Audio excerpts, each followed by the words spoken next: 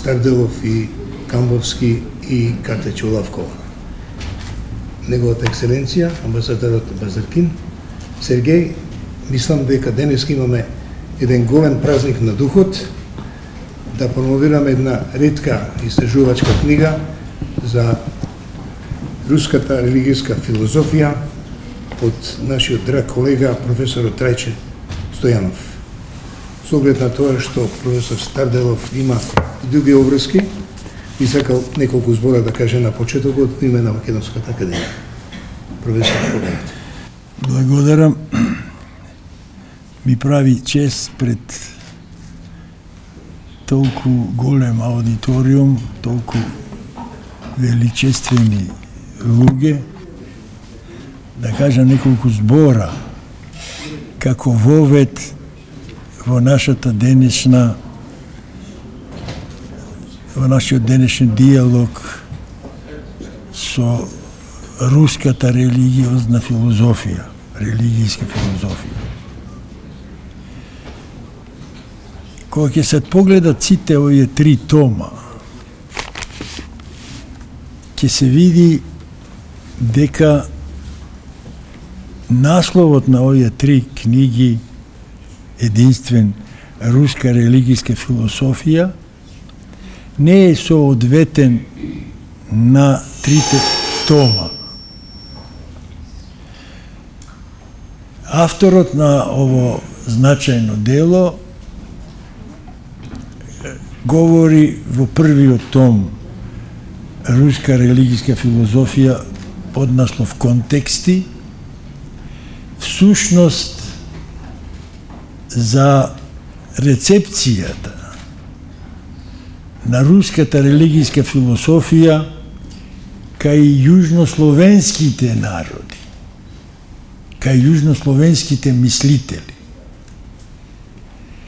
И тоа е оно ново што се сугерира во овој навистина значаен и голем зафат.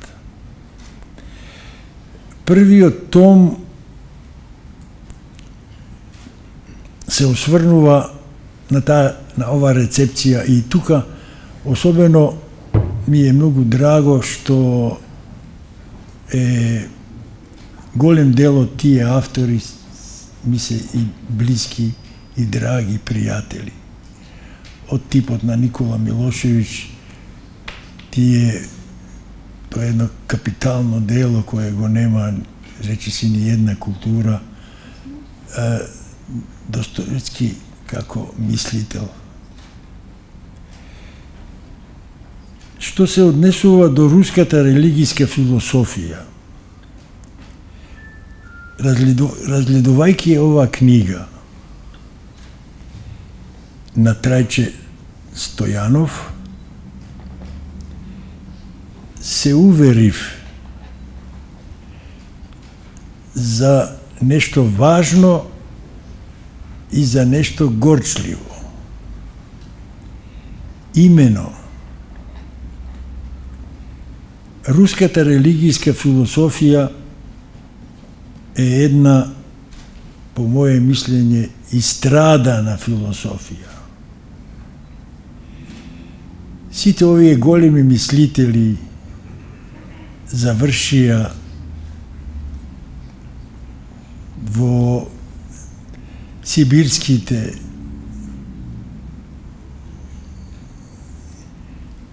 логори. логори.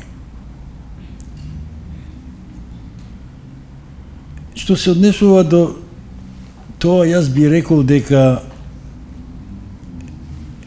многу од нив, мнозина од овие руски религијски филозофи почнаа како марксисти, а после завршија со може би како корифеи на религијската мисла. И сега се сеќавам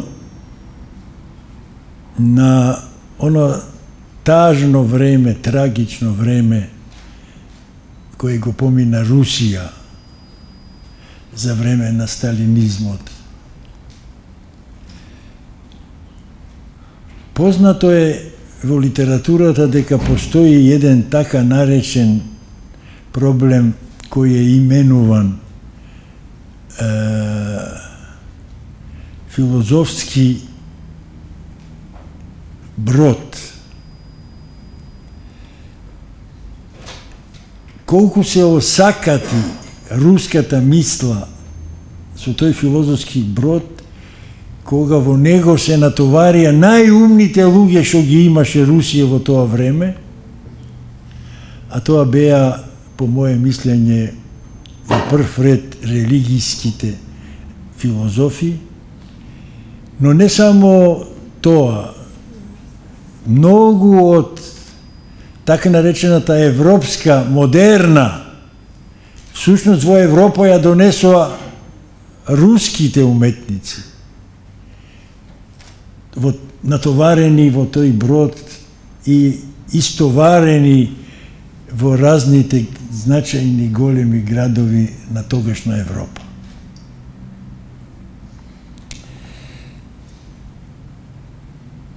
Во многу нешта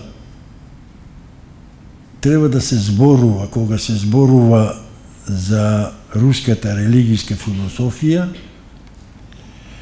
дека во Европа, што се однесува до философската традиција, постават три големи филозофски нации. Тоа е германската, тоа е француската и тоа е руската. Кога ќе се види колку од европската философија е користена во самата самата е, медитација на луѓето тоа е неверојатно можеби и нај Читаната философија на Европа.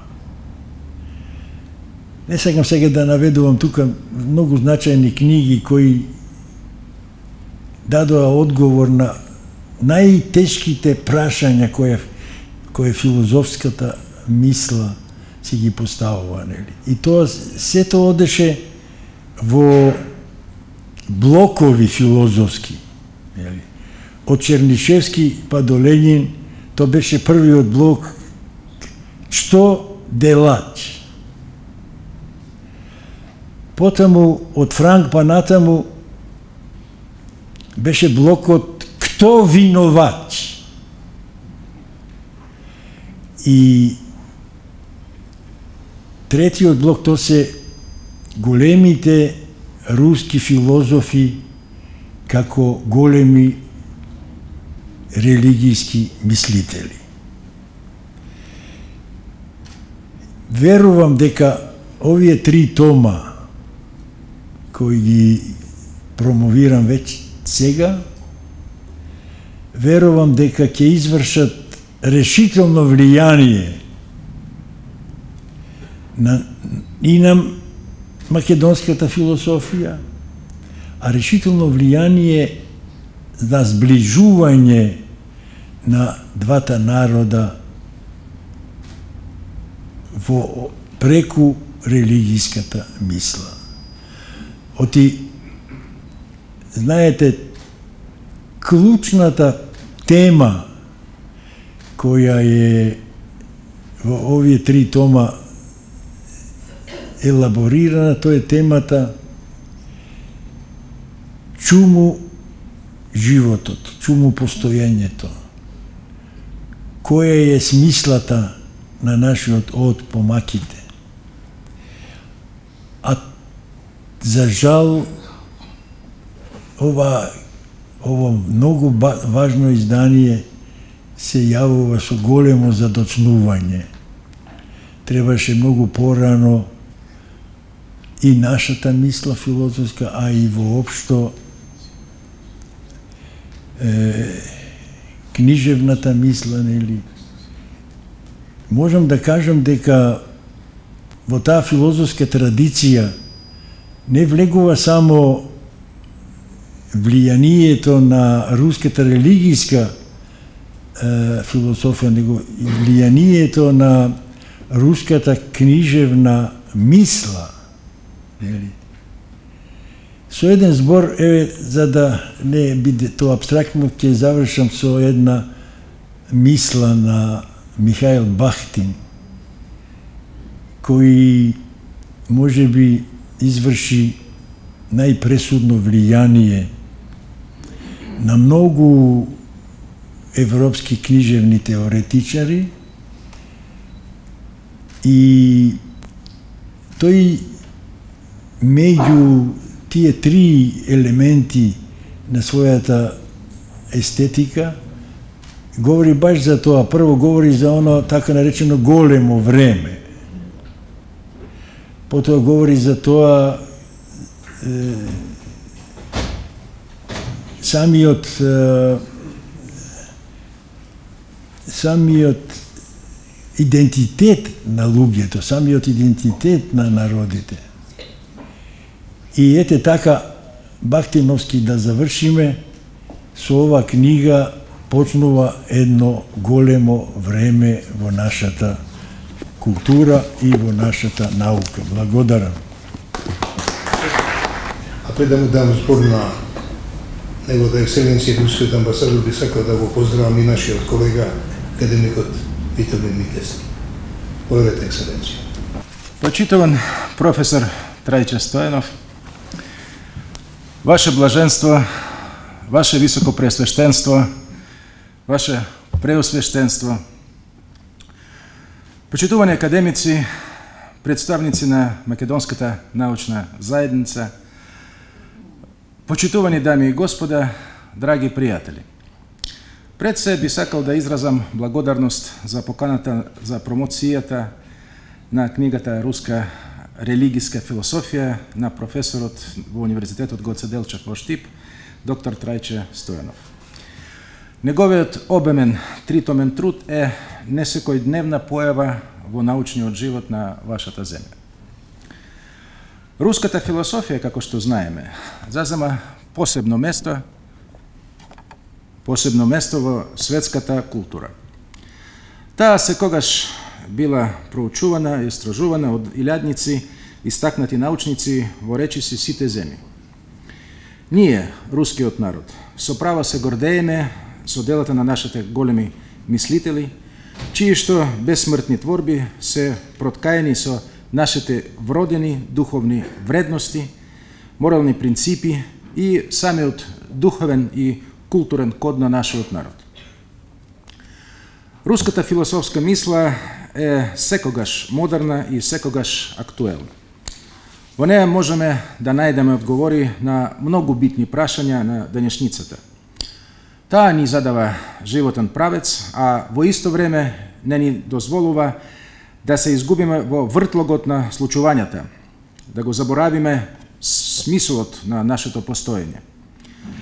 Според големиот руски философ и мислител од 20 век, Иван Илиин, Несреќата на современиот човек леже токму во тоа што му недостасува главната работа, смислот на животот.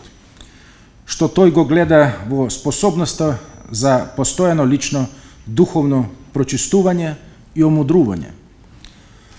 Во овој контекст е интересно да се забележи дека според Иван Илиин, клучната улога во историјата на руската култура ја игра токму руската религиска философија ја нарекуваше убедливо и драгоцено истражување на духот и на духовноста, која се формирала на темелите на самостојно и аутентично религиско искуство.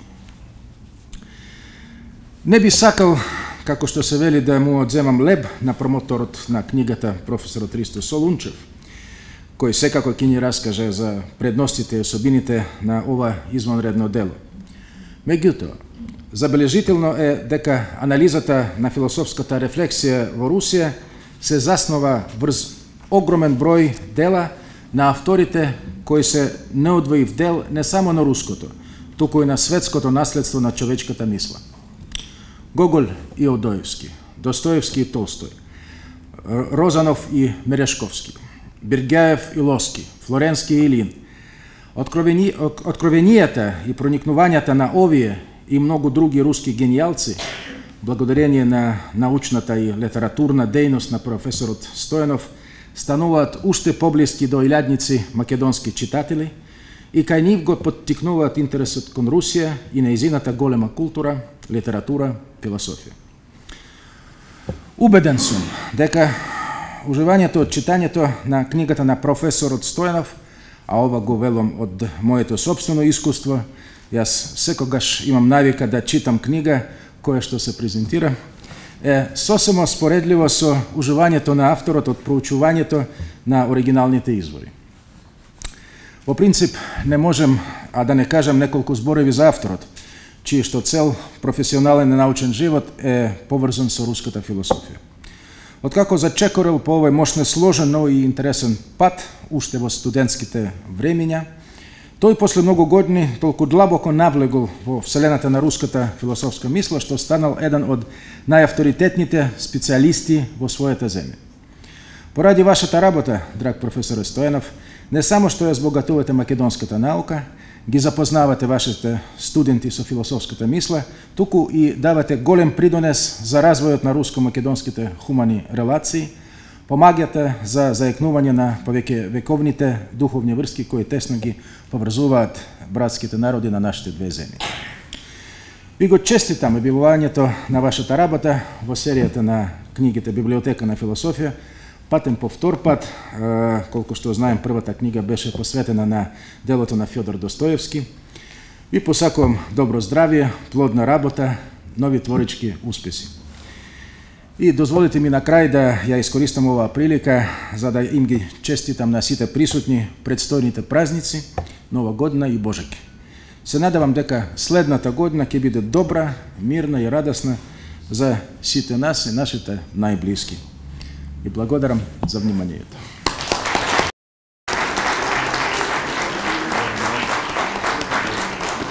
Благодарам на Рускиот амбасадор за оваа прекрасна беседа и да му кажам дека ние новинарите може да му позавидиме на неговиот блескав македонски јазик со акцент. И честитам. А сега, поврзувајќи го она што рече, се секам на 13 април 1992 година, кога тогашниот руски министер Андреј Козирев дојде во Охрид од 20.00 падна на цементото на Охридскиот аеродром, ја баци земјата и рече, од овде ни дојдоа очите и срцето. После 4 години, кога го интервјува во Крамонтана, викам, што сакате да кажете? Министерот му вика, од Охрид ни дојдоа и писменоста и духовноста. А сега би сакал да го повикам промоторот на ова дело, што верувам дека ќе се објави во Русија, професор Ристо Солунчев. Повете, професор. Ваша екселенција, амбасадор на Руската федерација во Македонија, а, почитувани академици, а, мои оци и учители, а, дедо Стефан, отец Климент и отец Иларион и професорот Стардолов, бидејќи со Трајче не врзува не врзуваат две работи всушност овде, бидејќи заедно студиравме философија, сме иста генерација и во исто време имавме прилика последни да ги слушаме официјалните предавања на професорот Георги Старделов, бидејќи тогаш се спремаше за пензија, професорот Иван Джапаровски да го наследи и ние имавме таа среќа последна генерација да бидеме што ќе ги слушаме неговите предавања и во многу нешта а, можам да кажам дека сум горд што потекнуваме а, и што можеме да говориме за таа а, филозофска скопска школа, а насоката во однос на православието е секако произлезена од професорката Вера Георгиева, бидејќи во се уште, например, на Балканот не беше воведена византиската философија, овде имавме прилика да слушаме предавања по византиска философија која што е да кажеме една од корените на руската современа религиска мисла. Така што јас без многу должење ќе придам кон ова импозантно дело, затоа што по мене импозантни дела не се само докторати во кои што вие си давате простор да истражите еден долг период и со тоа сте осигурале големина на е, книгата и материјал, нели, што повеќе материјал за препишување. Туку е, докторати во кои што е, сте влегле е, и во екстензија, но и имате да понудите една теза или некаков проблем кој што во основата во, во принцип на нештата не е субјективен и не е индивидуален. Значи конзистентноста на авторот во ова дело е што ја истражува е, руската религиска мисла и прашањата ги упатува кон создавање на некаков проблем што би требало да не засеги нас како култура македонска, словенофонска, како и сакате да ја наречете, натопена од истите сокови на православието. А, имено, клучниот проблем што го загатнува а, авторот Рајче Стојанов и мојот пријател, е имено дали црквата и незината култура, бидејќи очигледно создава култура внатре границите, номиналните граници на црквата внатре номиналните граници на црквата и внатре литургиската уметност. Дали може всушност да влијае да се создаде култура која што условно би можело да наречеме производ на секуларното време и контекстот на, на, на, на нештата кои што се случуваат,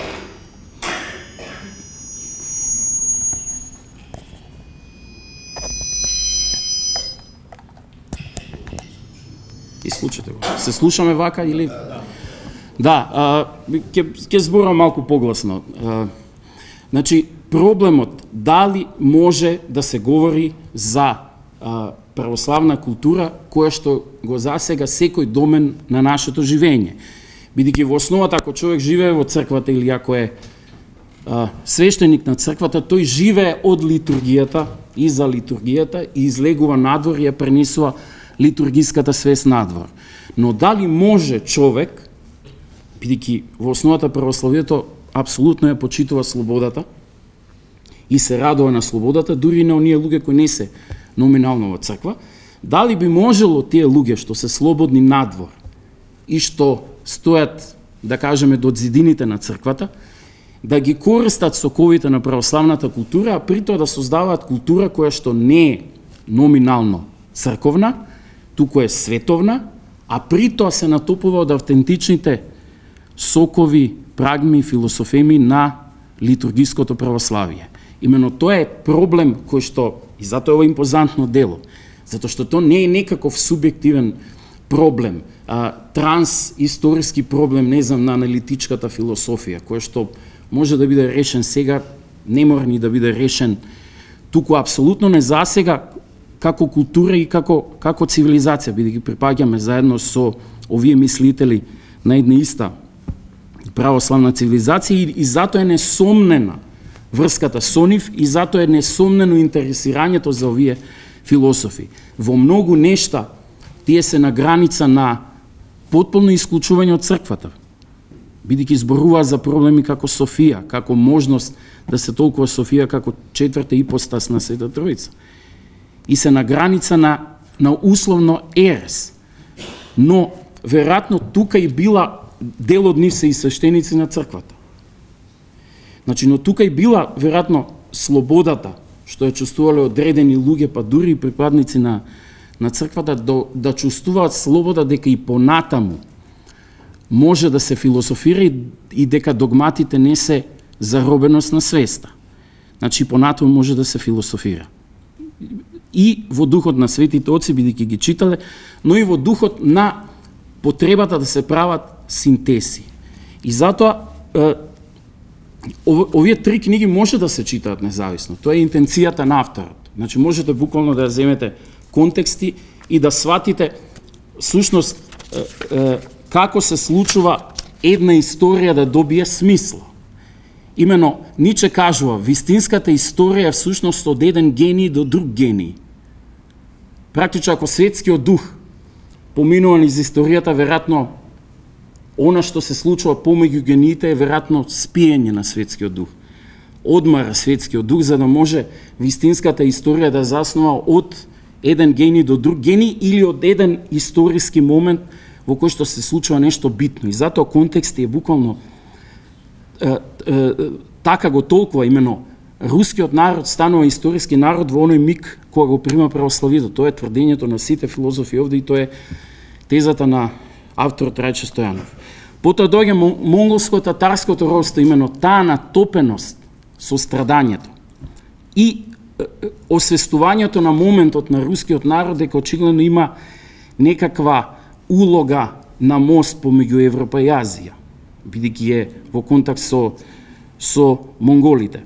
Потоа доаѓа на потреба неверојатна целиот свет да го загрнат но не како полицајци. Има голема разлика ако сакате како полицајци да го загрнете светот, а има голема разлика ако сакате како култура да кога се обидувате да му наметнете на светот убавина. Намерно ја користам тој парадокс да наметнете некому убавина. Го има тој проблем русите. Просто такво е нивното нивниот штоф е така изграден. И во таа смисла затоа е таа нивна комуникација Со Западот и таа потреба, Петар Велики и таа секуларизација и потоа научниот филозофскиот бум, поготово во таа синтеза со француското просветителство и германскиот класичен идеализам. И авторот овде баш е, е, е, фокусирано ја покажува таа врска, но и низ целата книга, и низ првиот том, кој што е контекстите во кој се одвива силната философија, бидејќи е таа поврзана секогаш со животот, мислам, проблемот на философијата што кога ќе побегне од животот, кога ќе почне да ги цензурира моментите кои мирисаат на живот и тоа е можеби главниот проблем на аналитичката философија. Се што мириса на живот, она го цензурира и кажува ќе отргнеме на страна, нема за тоа да расправа.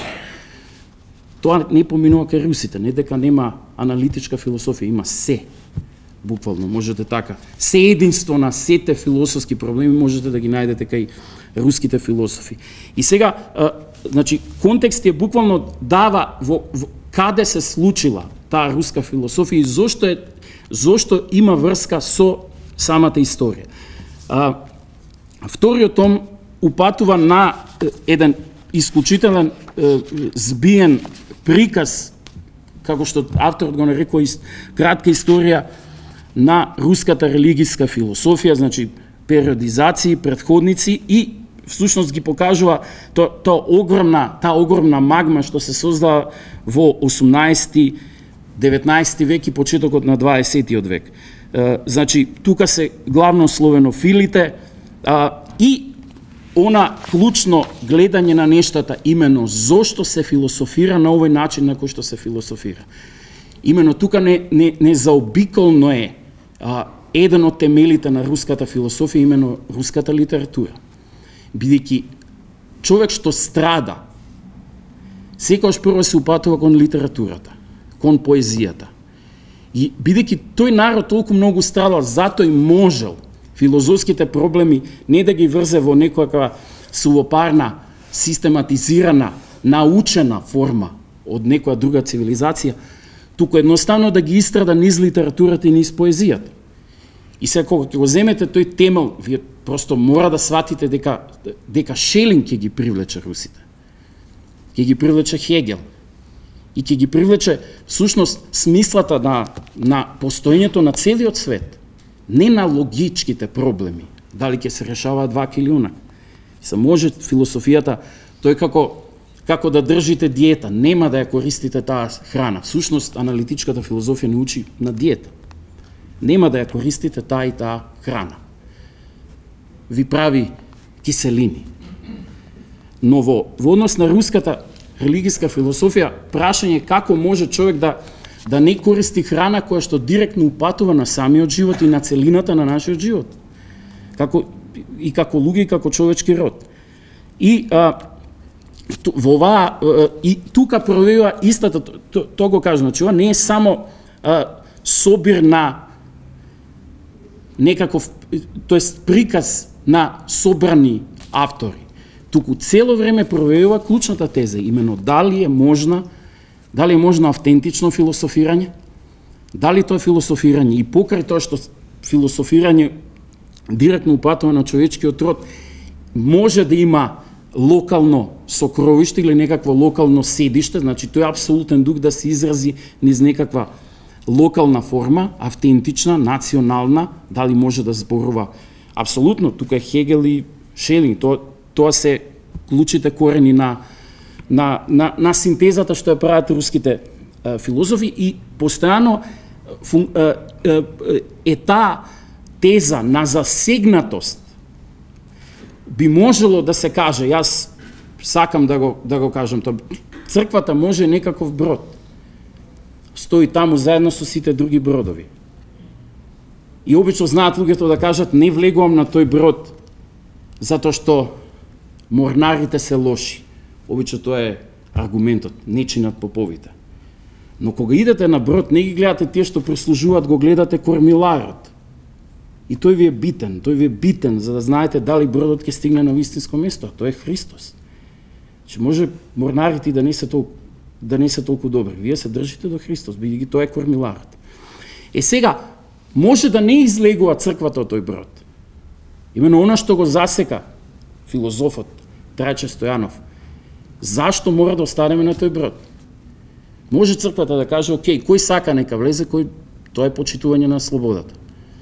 Но дали може да се создаде некаква култура која што ќе ќе рефлектира и во политичката стварност, имено да изградите некаков систем на односи и на некакво право кое што ги зима предвид не овие номинални, да кажам, римски кодекси што се произлезени од и од Византија, и, те, како Византија има култура, но дали е, дали е тоа музејска вредност? Дали има смисла? Создавањето на било каква автентична култура, имено, дали има луѓе што сакаат да се епигони, што сакаат да копираат. Сметаат дека е подобро да си копија на нешто квалитетно, отколку да се мачиш да го создадеш собствениот образ. Полесно има да се копија, отколку да го создадеш собствениот образ. Имено тој образ нужно мора да е автентичен. И, а, значи, се, книгите се како некакви концентрични кругови. Вие можете да ги читате независно. Но она што е во контекст и се зголемува во, во вториот том историја и кулминира во третиот дом кај што е, е се упатува авторот кон тоа да покаже дека е, дека оваа мисла не е само расцепкана низ некакви е, потполно акцидентални екстази, медитацијски екстази на авторите, туку е живо врзана и затоа произлегува, значи буквално родена е во една комуникација внатре самата руска философија и комуникација на таа философија со црквата и во исто време комуникација со светот и со германската класична филозофија и со француската философија, како што а, беше спомнато за големи философски нации. Значи, просто вие морате тоа да го правите. И, всушност, според авторот, директно, клучните теми, соборно познание, гледате, идејата за соборно познание, комплетно антидекартијанска позиција, фаќање Каршилак со Декарт. Се единство, просто обседнати, тоа е таа, целината е убавина. Имено, да ја наметнеме свеста за убавината што произлегува од целината, тоа не е Па не е полицајска филозофија. Пота имате Софија, клучниот проблем, контроверзата. Она што што го расцепкува тоа ткиво на на таа исклучителна мисла на овие философи. Обседнатоста со богочовештвото. Четвртиот проблем. Руската идеја, петиот проблем и шестата идеја космизам кој што произлегува од ова сединство на оди во насока да ги користи природните науки да да говори дека целиот космос мора да биде спасен. И гледате, на, на некој начин овде веќе има назнаки за потребата. Тие а, философски концепти што се родени во комуникација со православната идеја за спасението на светот, имено со идејата за човекот како свештеник на сета твар, да се а, префрлат во сферата на науката и да се обидете со, со а, јазикот на, на современата наука да, да го изразите таа потреба за спасување на целиот космос како, како едно. И а, многу разговори сме поминале, имено инспирирани проблеми, што сме ги имале како, како студенти во однос на, бидејќи ги читавме Берджаев и руските религијски филозофи, тоа беше време кога кога останувате сираче, бидејќи има еден луциден автор, може би и лут, кој вели дека ние македонците воопшто не бевме спремни за нашата независност. Бидејќи никош не освоивме. Правевме митови за ВМРО, правевме митови за партизаните и бевме во инкубаторот на Југославија, кај што требаше други да ни направат институции кои што сушност не спре е, е, требаше други да ни ја градат и постаста, и постасисот бидејќи сами не, не можевме, отимавме проблем со историјата, како не историски народ. И во моментот кога ги читавме овие руски религиозни филозофи, бидејќи студиравме тоа време, тоа беше де, од 94-та, пета година.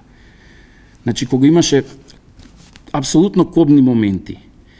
И сега, очигледно, блискоста со оваа философија и затоа е клучна, бидејќи човек може да напише книга за било што.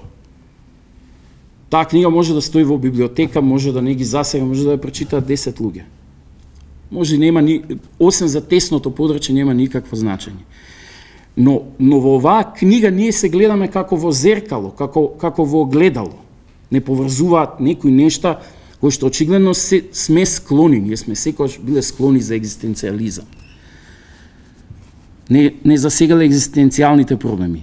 Сме биле склони кон уметност Практично има едно истражување на Југословенската академија на науките и уметностите од 20-тите години, нормално тога сме јужно-србијанци, во друг контекст сме бугари, во трет контекст сме словенизирани грци. Значи, нека седнат овие три народи, нека решат што сме ние, тоа ќе го прифатиме, ако може да го решат тоа. Се ми се чини дека нема никош да може да го решат.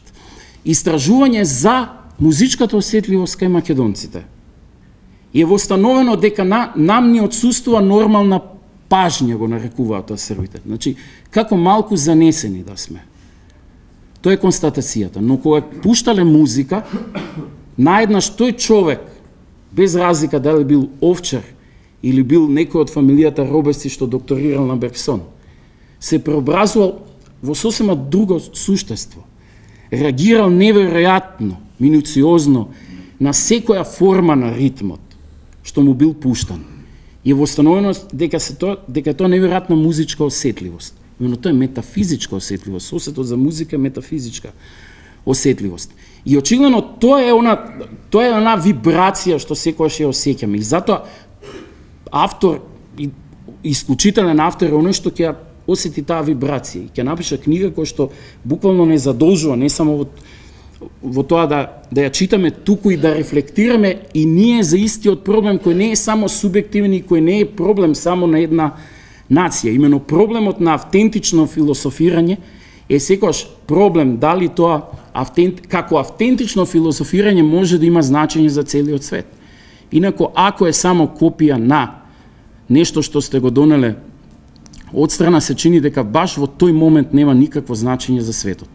И отаму, оваа книга, апсолутно овие три тома имаат, по моје мислење, значење за целиот свет, затоа што го поставуваат јасно прашањето, значи во домен на истражувањето е исклучително тоа е извршено со сета научна акрибија и со сите формални параметри што ја прават оваа книга да биде нели, сериозно научно дело и научно истражување. Но прашањата што се отвараат овде се многу побитни за мене затоа што а, сушност отвараат простор за оно што се нарекува сформирање на автентична философија, бидејќи философијата ја задолжува апсолутно културата, една култура во основата клучен темел ја, ја има философијата И само како такво автентично философирање може да има значење за светот, како некаков новум.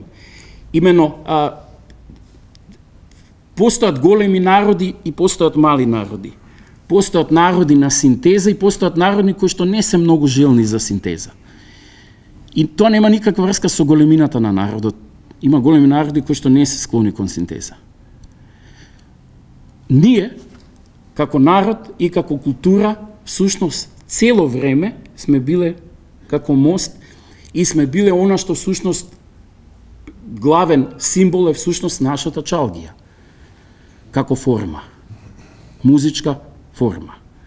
Каде што во основата го имате автентичното музицирање од овде, но отворено без притоа да чувствува било, било каков страф или инфериорност, што влегува во огромни класични музи, музички јазици на Византи или на Отоманската империја. Ни се чини дека значењето на оваа книга е од прилика на, на на ниво кој што го има нашата чалги. Именно отвара пат повторно да се спознаеме себе си како мал народ, но кој што по потребата и по повтежот за синтеза стоиме рамо до рамо со големите народи. Ви благодарам.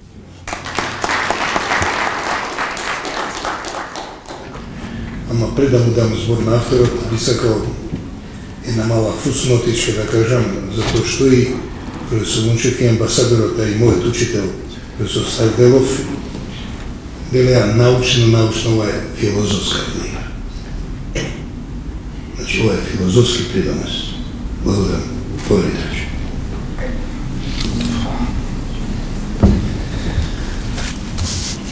Па јас сега стварно не знам, особено после овој настап на мојот драг колега и пријател а, професорот а, Солунчев, што да кажам, а, на овие промоции авторот секогаш е вишок.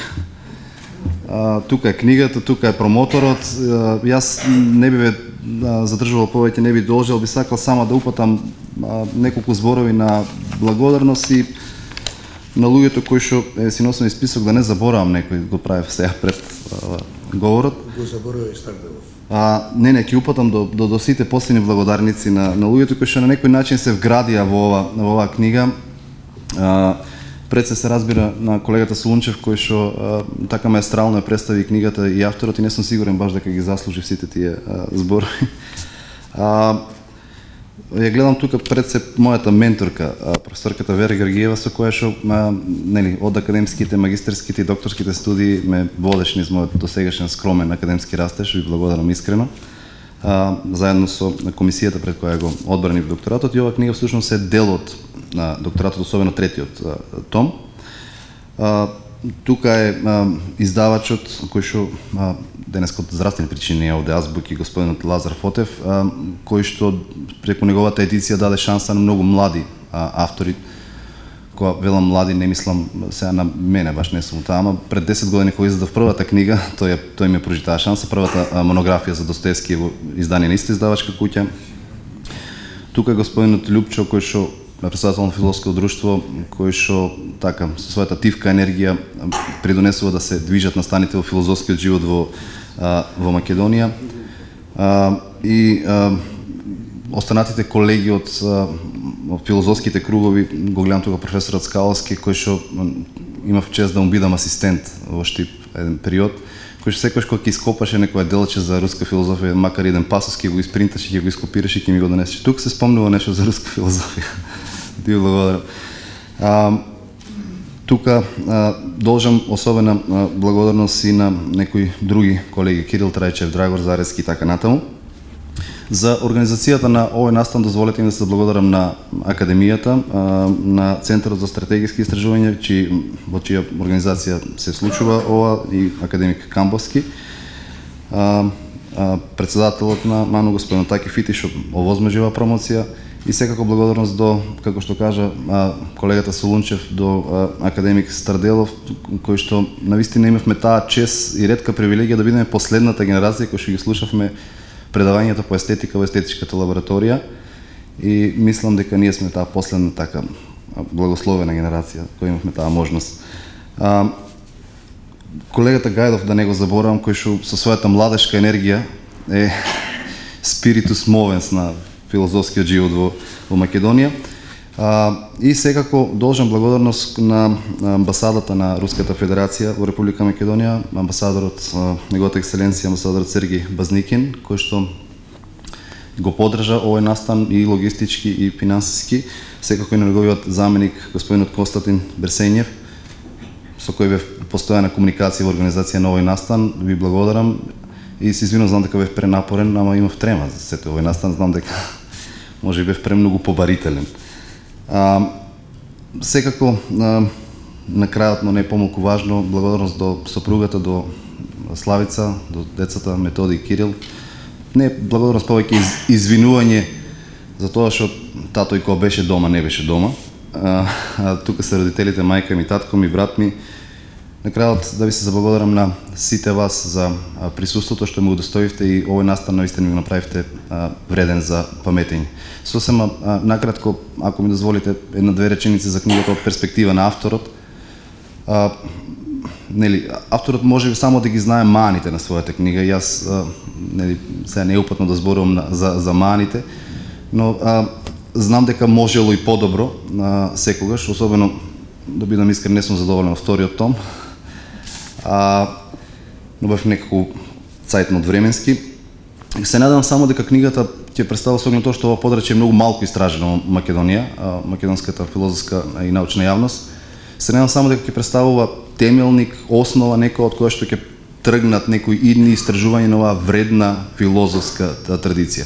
А, верувајте, кога ја за прв пат почнав да да ја истражувам, а, се насочи преку мојата магистерска работа на, на Достоевски, а потоа и на целата руска филозофија, тоа беше едно море од, од, од филозофски теми и проблеми. И јас се решив да да пријавам докторска дисертација на тема основни проблеми во руската религијска филозофија. И кога почнав да ја пишувам тој докторат, почнав да го пишувам во Москва и кога се запознав со а, тамошниот професор кој што ми помагаше, а, професор Михаил Маслин, кому исто така му должам да благодарност, еве јавно, на професор по историја на руска филозофија на Ломоносов, кој ме праша што е темата, му реков историја на овој основни проблеми на руска религијска филозофија. И он ми одговори: "Ну, нельзя так, молодой човек, это все. Тоа е се." И јас знам дека нели е и обемно, но а, а, и, и како докторат и за книга, но нели не, не пледира на тоа книгава нити да ги исцрпи сите проблеми, нити да представува видна енциклопедија и така натаму. Туку на некој начин баш основа од, од која може да се тргне и во иднина да се истражува ова навистина вредна филозофска традиција, особено она што го потенцираше колегата Сунчев, што на мене ми е така да кажам постојана некаква обсесија и која долго сме разговарале со него и на факултета и до ден денеска. Може ли оваква а, философија религијска православна интонирана, натопена во тој дух да креира култура, што е за мене а, особено важно. Може би јас сум тој што стои на обалата и го гледа а, православниот брод, православниот параход и велам ај малку поблиску до обалата да да ја осветиме обалата. Дали може таквата култура, а тоа не засега и нас како народ, дали може таквата философија, православно интонирана, натопена во тој дух, да креира култура, па ако сакате и световна а, култура. И наистина тоа е едно од тезите кои што се провлекува во, а, во книгата. Уште еднаш, да не должам многу, драги пријатели, благодарам на присуството, стварно ми направивте голема чест а, и после ова има мал коктел во организација на Руската амбасада на Благодарам.